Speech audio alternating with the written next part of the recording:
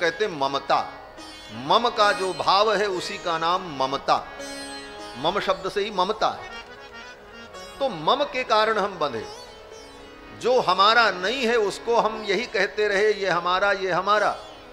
और जो यथार्थ में हमारा है परमात्मा, और हम यथार्थ में जिसके हैं, उसको हम अपना नहीं कह सके।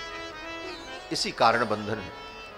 अब इस बंधन से मुक्ति कैसे मिले? बोले, दूसरा अनुसंधान करना पड़ेगा। दूसरा अनुसंधान क्या है? बोले, नमम, संसार की हर वस्तुओं का उपयोग करो। उपयोग करना गलत नहीं है। संसार की हर वस्तुओं का उपयोग करो। घर, मकान, दुकान, वस्तु। सुख सुविधा जो परमात्मा ने प्रारब्ध में दिया है। लेकिन इनका भोग करते हुए भी मन को ये समझाते रहो न मम ये मेरा नहीं है। ये मेरा नहीं है। मन समझ ले। बोले, महाराज, दोनों कैसे होगा? उपभोग भी करते रहें और ये भी समझें कि हमारा नहीं है। बोले हाँ समझना पड़ेगा। और आप समझते हो। ये आदत आपकी है, लेकिन सब जगह नहीं है। जब आप ट्रेन में यात्रा करते हो तो ट्रेन की यात्रा में जब ट्रेन में बैठते हो तो कभी आपने सोचा कि ये ट्रेन हमारी है? कभी नहीं सोचा। लेकिन उपयोग करते हो। ट्रेन में जो आपकी सीट है, उस सीट को कभी आपने ये माना कि ये मेरी है? आप जानते हो, बस इतनी देर की यात्रा में ही मेरी है, तब तक मुझे इस पर बैठना इसके बाद ये मेरी नहीं है, आगे किसी और की है। आगे किसी दूसरे का रिजर्वेशन होगा। उसी प्रकार संसार में सर्वत्र ये चिंतन हमें करना है कि हमारा कुछ नहीं है। हम तो केवल उपयोग करता है और अभी हमें इसका उपयोग कर लेना रेलवे स्टेशन की सीट पर आप बैठते हो, प्लेटफार्म पर बैठते हो, लेकिन जानते हो ये हमारी नहीं है, हमारी गाड़ी आएगी तो हमें जाना पड़ेगा। वहाँ पंखा भी लगा है, कूलर भी लगा है, वाटर कूलर भी है, सबका आप उपयोग करते हैं। लेकिन कभी आपका मन ये स्वीकार नहीं करता कि ये मेरी है। मन यही कहता ये तो सरकार की है। उसी प्रकार संसार की वस्तुओं का उपयोग करते हुए ये भावना रखनी चाहिए कि जो कुछ है सब सरकार का है, सबसे बड़े सरकार, जो ऊपर वाली सरकार।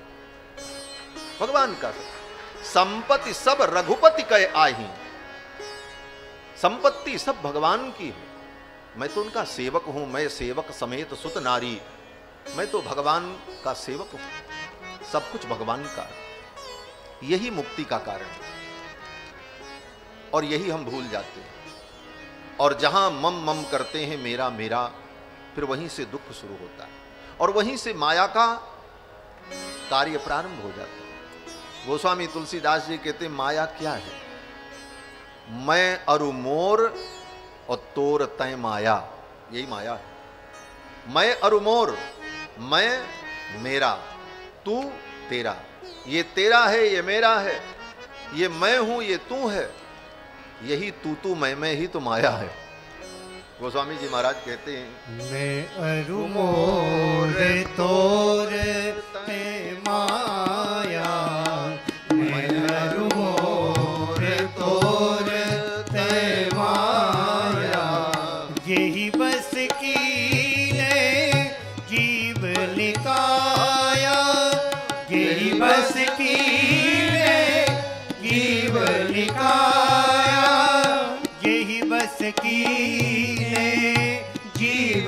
लिकाया यही बस की ने जीव लिकाया मैं अरुमोर तोर ते माया।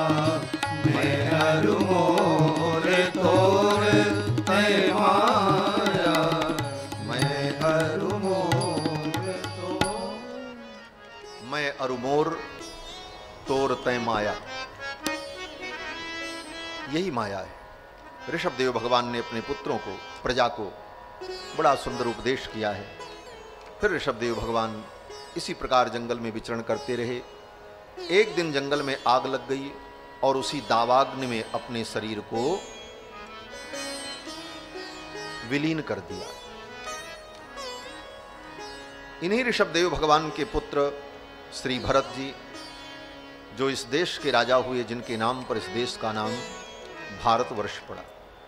पहले इसका नाम अजनाभ वर्ष था, इस देश का नाम। अजनाभ वर्ष। ऋषभदेव भगवान के पिता जो नाभि थे, उनके नाम पर। अजनाभ वर्ष। लेकिन भरत जी के नाम से इस देश का नाम भारतवर्ष पड़ा।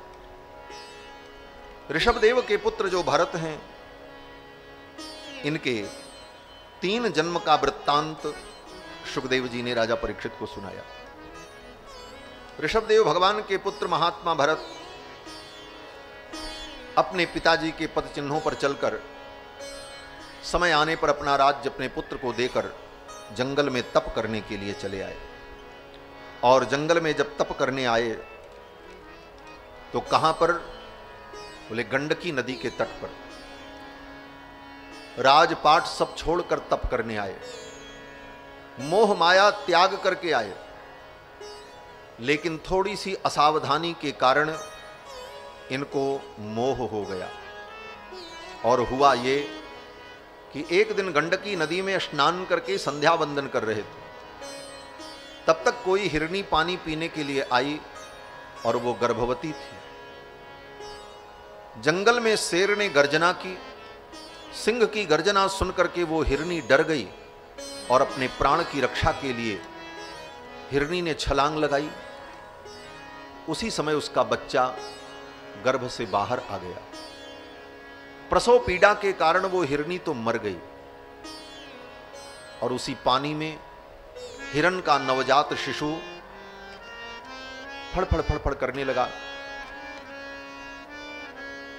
भरत जी ने देखा, ये तो मर जाएगा। इसकी माँ मर गई है। इसको दूध कौन पिलाएगा? और इस ठंडे जल में तो ये थोड़ी देर में ही ठंडा हो जाएगा। और अगर ये बच भी गया तो ये जिएगा कैसे? क्योंकि अभी तो घास भी नहीं खा सकता। और इसकी माँ मर गई, कौन दूध पिलाएगा? ये भाग भी नहीं सकता, कोई हिंसक जीव इसे मार देगा। और दया के परवश होकर, करुणा के परवश होकर उस हिरण के बच्चे को लेकर के अपने आश्रम में आ गए। अपने छाती से सटा करके अपने शरीर की गर्मी से उसे ऊष्मा दी और दूध पिलाकर, फलों का रस पिलाकर, उस हिरण शावक को, उस हिरण के बच्चे को पाला। धीरे धीरे वो बड़ा हो गया।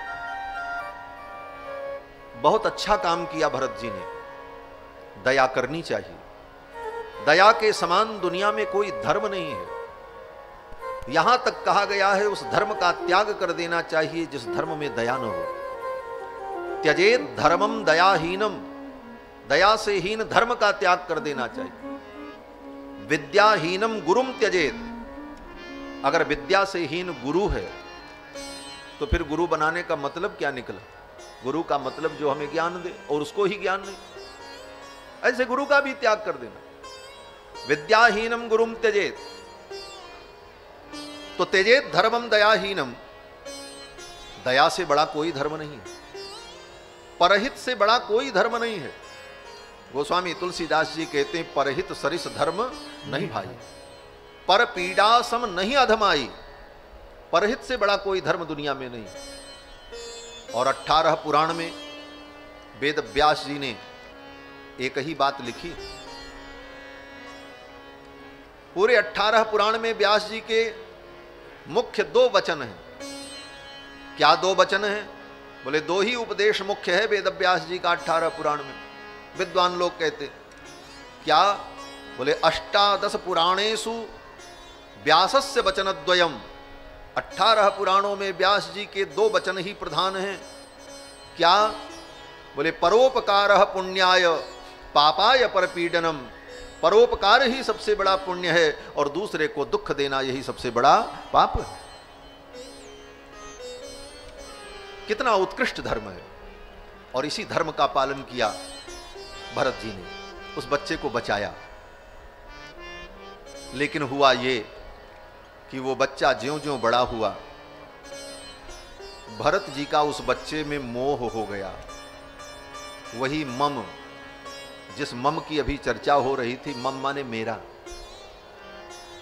भरत जी को यह लगा कि यह तो मेरा है।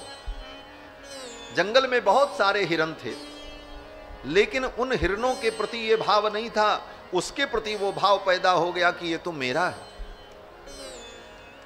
ममता हो गई, और उस ममता का परिणाम बड़ा भयानक हुआ। उसके बिना रह नहीं पाते। पूजा करने बैठते तुलसी बेलपत्र दूरबा, पान का पत्ता, पुष्प, ये सब पत्रावली में रखकर जब पूजन करने बैठ चला गया, कोई बात नहीं। जंगल में इतने हिरण रहते हैं, ये भी रहेगा इसका प्रारब्ध इसके साथ। लेकिन ये मेरा है, मेरे पास रहे। इस मोह के कारण बार बार उस हिरण का स्मरण करते रहे, व्यथित होते रहे, दुखी होते रहे। संध्या वंदन जब तब सब छूट गया और संयोग से भरत जी की मृत्यु आ गई। मृत्यु बता के नहीं आती। मृत्यु कोई अलार्म नहीं देती। मृत्यु कोई पूर्व सूचना नहीं देती। मृत्यु तो अचानक आती। है आय अचानक काल डटा। काल तो अचानक आता है। कभी भी, कहीं भी किसी की भी मृत्यु हो सकती है। मृत्यु कभी भी आ सकती है।